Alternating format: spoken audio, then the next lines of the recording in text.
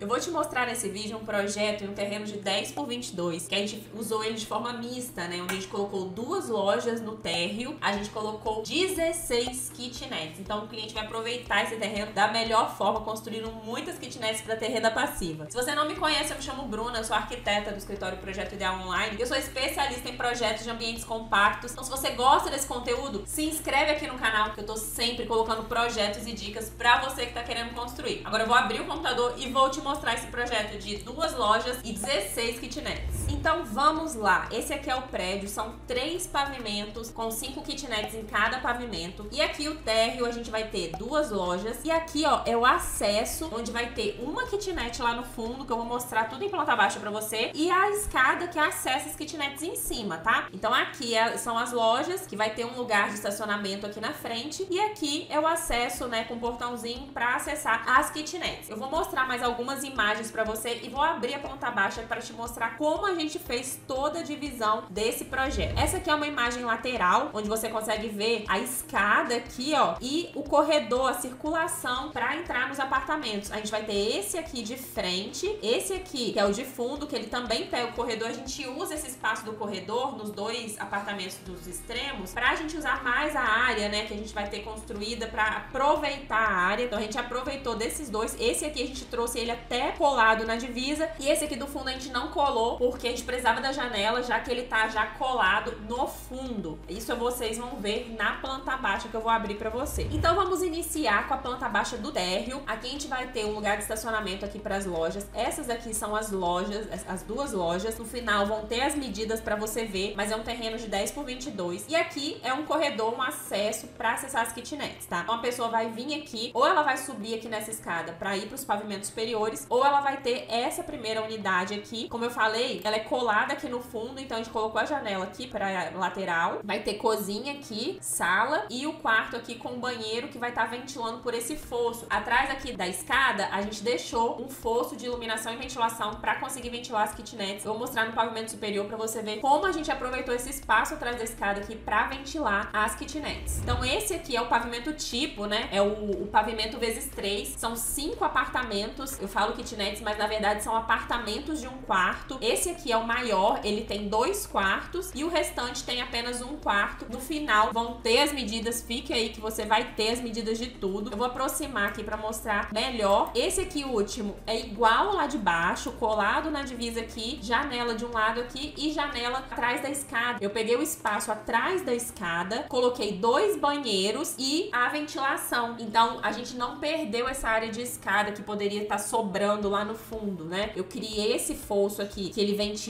esses dois quartos. Essa mesma unidade aqui eu rebati e coloquei aqui. Ela ficou menor porque essa tá aproveitando o corredor, então a gente não vai ter a sala nela, porém a gente conseguiu ventilar os quartos, os banheiros e também ter a ventilação aqui na frente na cozinha, tá? Meus projetos, se você não conhece, se inscreve aqui, eu tenho várias playlists que mostram os meus projetos e eu sempre prezo muito pelo conforto de quem vai morar nos apartamentos, por mais que sejam apartamentos compactos, eu sempre faço eles muito bem distribuídos para pessoa que for viver aqui ter bastante conforto. Essas outras duas unidades aqui são iguais, a gente acessa, tem toda a parte de cozinha e, e sala de jantar. Essas três do meio não tem sala de TV, só vão ter parte de cozinha e sala de jantar. O quarto, a gente deixa o, o quarto mais espaçoso para pôr televisão, pôr bancadinha de estudos e os banheiros com as ventilações aqui no fundo. A gente deixa esse fosso para ventilar o quarto e ventilar o banheiro, tá bom? E esse primeiro aqui, né, o apartamento da frente, é o maior apartamento, ele vai ter a varanda lá da frente, igual tá aqui na fachada, ó, pra você ver. Ele, a gente colou ele na divisa dos dois lados e conseguimos colocar um apartamento de dois quartos, porque o cliente queria que tivesse esse apartamento de dois quartos também para ele cobrar um pouquinho mais caro. Então a gente aproveitou todo o cantinho do terreno e fizemos esse apartamento aqui de dois quartos. Então vai ter toda a parte de serviço aqui, que é cozinha e lavanderia, né, e área de serviço, com janela dos dois lados aqui pra gente conseguir ter bastante ventilação. Aqui a gente tem sala de jantar e TV com acesso para varanda. E aqui a gente tem um corredor. Esse corredor ficou grande por conta do formato do apartamento. Tem hora que a gente tem que fazer assim para conseguir aproveitar o formato, para conseguir usar o formato, para conseguir colocar as kitnets. Mas aí mesmo assim a gente conseguiu aproveitar. Colocamos um quarto aqui que também tem acesso à varanda e aqui um outro quarto, a cama de casal um pouquinho mais espaçoso, o banheiro ventilando pro fosso aqui atrás. Então ficaram três pavimentos assim, então são 15 e lá no térreo uma unidade de kitnet e duas lojas. São 16 apartamentos e duas lojas comerciais. Eu vou deixar agora para você a planta baixa com as medidas. E aí, me conte aqui nos comentários o que você achou desse projeto. E antes de eu deixar as imagens e a planta baixa com as medidas para você, eu te lembrar novamente, se inscreve no canal e dá um like aí, ó, no vídeo, que me ajuda a levar esse vídeo para mais pessoas. E se você precisa de um projeto ideal aí pro seu terreno, é só me chamar nesse WhatsApp, fala comigo que eu vou te atender. Fique agora com as imagens e as medidas. Até mais!